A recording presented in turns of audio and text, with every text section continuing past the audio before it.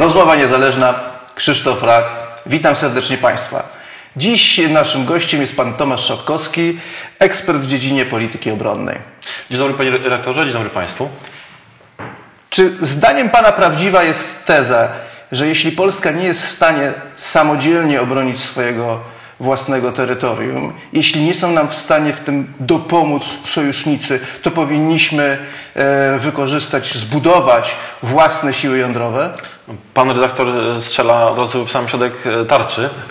E, trochę bym zniuansował tą, tą tezę. Sądzę, że Polsce jest potrzebny jakiś potencjał e, odwetowy, e, sama zdolność do, do obrony e, pasywnej, to też można postawić znaki zapytania, czy jesteśmy wystarczająco do tego Ale użył Pan słowa odwetowy. Odwetowy, tak, tak. tak. E, czyli jakby, ja uważam, że to potwierdza moją tezę, tak? No, no, no. Ponieważ nie jesteśmy w stanie sami obronić własnego terytorium, nie możemy liczyć na e, e, naszych sojuszników, to najlepszą gwarancją jest odwet, czyli jądrowe odstraszanie, tak? Tutaj nie tylko, nie tylko jądrowe odstraszanie, ale oczywiście to, to jest najbardziej e, skuteczne odstraszanie pod e, pewnymi zastrzeżeniami, tak? To, to, to, to e, pod jakimi? Na przykład jeśli chodzi o same zdolności militarne, to, to, to trzeba mieć e, tak zwaną zdolność do, znaczy to się po angielsku nazywa second strike capability, czyli zdolność do drugiego uderzenia, czyli odwetowego uderzenia. Czyli inaczej mówiąc, mieć taką zdolność, zdolność do przetrwania pierwszego uderzenia przeciwnika, e, nuklearnego załóżmy. Tak. Przy założeniu, że wróg zaatakuje pierwszy nasze instalacje atomowe, tak. to może zniszczyć tylko pewną ich część, a część musi nam zostać, żeby Prawda, tak, skutecznie tak. na to odpowiedzieć. Dokładnie tak, dokładnie tak.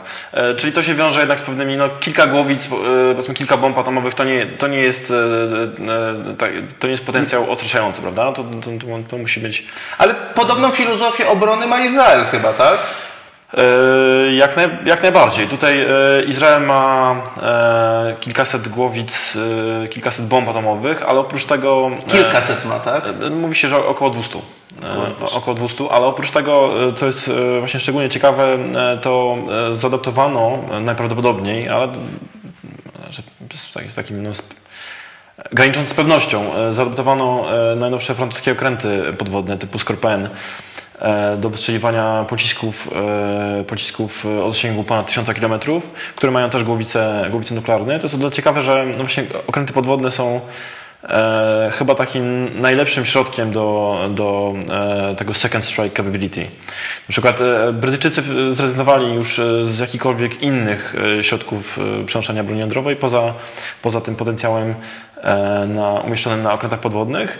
Przy czym w wypadku Brytyjczyków to są te klasyczne, wielkie atomowe okręty z, z, tymi strategicznymi... A w wypadku Bałtyku byłoby to skuteczne? No, e, e, Izrael zaadoptował okręty Skorpion. E, to, to, to jest jeden z typów, które, które, my, które my rozpatrujemy w ramach, w ramach e, nowego potencjału, e, który ma zastąpić naszą obecną flotę podwodną. Jasne, ale wróćmy jeszcze może do tej, do, do tej tezy, bo musimy najpierw udowodnić, tak, że no, samodzielnie nie jesteśmy w stanie się obronić. Zacznijmy od tego, czy samodzielnie Polska jest w stanie się obronić dzisiaj i w, no, powiedzmy w takiej przyszłości przewidywalnej, to w ciągu pięciu lat. Mhm. Przy założeniu, że, że wróg będzie e, ze wschodu, czyli wchodzą w grę potencjalnie, podkreślam, potencjalnie dwa kraje, Białoruś i Federacja Rosyjska. E, samodzielnie wydaje mi się, że, że przy, takiej, przy takim frontalnym ataku, ataku Rosji e, i, i Białorusi nie, nie bylibyśmy im, im, w stanie stawić czoła i chyba taka świadomość też jest u nas w Sztabie Generalnym Ministerstwie Obrony. Większość planów, ćwiczeń, jakie odbywały się w ostatnim czasie, chyba wszystkie w zasadzie odbywały się w, w z założeniem e, przyjścia tej, tego sojuszniczego wzmocnienia. E, tutaj chyba największym problemem jest, e, jest, jest wielkość naszych sił zbrojnych, brak rezerw, z czego, z czego zrezygnowaliśmy ostatnimi, ostatnimi czasy. No właśnie, to powtórzmy to, bo to jakie są te siły zbrojne, bo żeby to dotarło do Polaków. No więc nie, nie wszyscy zdają sobie sprawę, jak, jak, jak, ile osób liczy nasza wszyscy, armia. Znaczy, wydaje mi się, że Polacy ciągle sądzą, że my wydajemy mało pieniędzy na, na, na, wojsko i że tak naprawdę nie stać nas na, na wojsko, które byłoby takim silnym gwarantem naszej, na, naszego bezpieczeństwa. Naprawdę jest taka, że wydajemy o połowę więcej niż na przykład Finlandia, e, tylko jedną trzecią mniej niż Izrael, który jest no, wielką potęgą e, militarną pomimo swojego małego rozmiaru, ale to jest specjalny przypadek. E, I, I, pomimo tych dużych wydatków, na przykład Polska na czas wojny jest w stanie wystawić e, kilkakrotnie mniej żołnierzy niż Finlandia, która wydaje o połowę mniej niż Polska. Nie, przepraszam, e, jedną trzecią mniej niż Polska. Polska wydaje połowę więcej niż Finlandia. Finlandia, która jest krajem ośmiokrotnie mniejszym niż Polska pod względem ludności, prawda?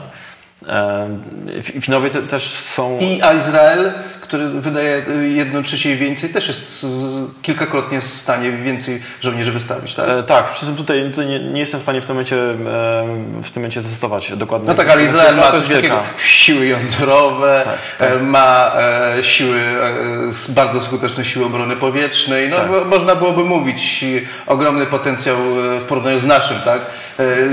liczbowy wojska, to w ogóle nie tak. jest porównywalne. Tak. Czy dziś u nas te pieniądze są jak zwykle marnotrawione, pewnie rozkradane, tak? E, no, powiedział, no, no, to, po, po, powiedziałbym, że na pewno, na pewno nie są do końca racjonalnie wydawane. E, tutaj też zastrzegłbym jedną rzecz. Znaczy, ten, ta, ta, ten poziom wydatków to jest też e, kwestia ostatniej powiedzmy dekady. Część e, z tego, z tego wzrostu była zjedzona przez, przez misję, ale jednak znaczna część rzeczywiście była niewystarczająco racjonalnie wydana do tego stopnia, że, że MON e, czasami nie potrafił po prostu wydać nawet, nawet tych pieniędzy. A ile MON? Jak, jaki jest budżet MONu?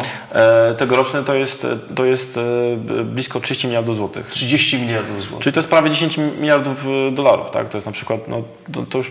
To gdzie te pieniądze idą? Jak my nic nie mamy. Nie mamy, mamy tylko tych tam 40 parę e, nowoczesnych samolotów i poza tym czołgi to mamy z demobilu niemieckiego, e, marynarki nie mamy. Co się z tymi pieniędzmi dzieje?